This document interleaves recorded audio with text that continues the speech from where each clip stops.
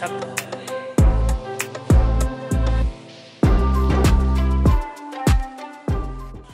karena saya itu karena hobi aja.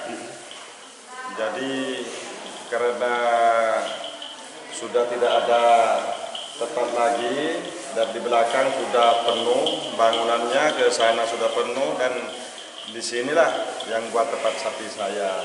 Tidak apa-apa. Ini settingannya bagus banget, ada granit dan kayak udah rumah ini. Ditempati sapi seperti apa? Iya, karena dulu saya waktu itu sekalian aja. Karena nanti kalau kandang ini ngumpul begini sama rumah, kalau nggak dikasih granit ya namanya sapi kan kotor,